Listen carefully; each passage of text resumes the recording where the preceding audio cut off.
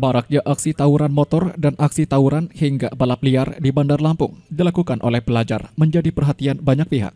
Ratusan remaja diamankan tim gabungan Polresta Bandar Lampung Senin malam di Cafe Milenial di Jalan Endro Suratmin, Sukarambe, Bandar Lampung.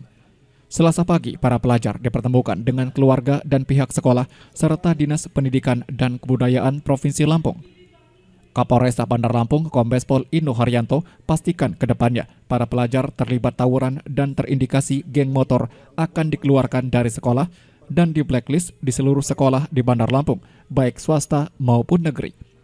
Sanksi tegas ini akan segera direalisasikan dengan Dinas Pendidikan Provinsi dan Kota Bandar Lampung serta guru-guru dan kepala sekolah yang ada di Bandar Lampung tegaskan lagi. Ya, tadi sudah saya sampaikan, kami sudah bicarakan dengan Dinas Pendidikan Provinsi, Kota, dengan guru-guru kepala sekolah yang hadir di sini karena muridnya tadi malam kita amankan di kantor.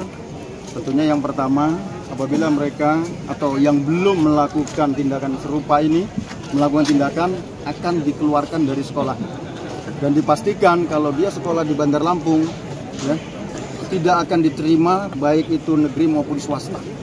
Itu nanti akan kita konsep narasinya, ya. ini akan kita jadikan uh, parameter untuk menjadikan efek jerah kepada siswa-siswa yang ada di Kota Bandar Lampung supaya tidak melakukan kegiatan-kegiatan yang tidak produktif seperti ini mengganggu keamanan dan ketertiban. Sekretaris Disdikbud Provinsi Lampung Tommy Evra Hendarta menyampaikan untuk komitmen bersama Polri pihaknya akan memberikan sanksi pelajar untuk dikeluarkan dari sekolah. Kalau dari pihak sekolah kita nggak pernah jemu-jemu, nggak pernah berhenti kita.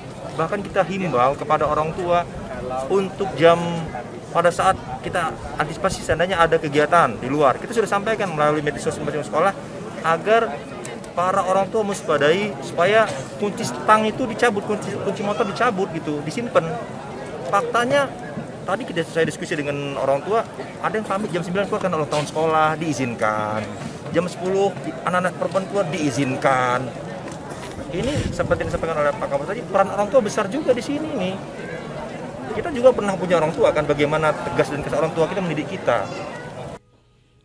Sebelumnya, tim gabungan mengamankan 324 remaja saat sedang berkumpul menghadiri acara ulang tahun salah satu sekolah dari lokasi diamankan tiga orang remaja membawa senjata tajam berupa celurit, parang, dan pedang. Randy Mahardika melaporkan.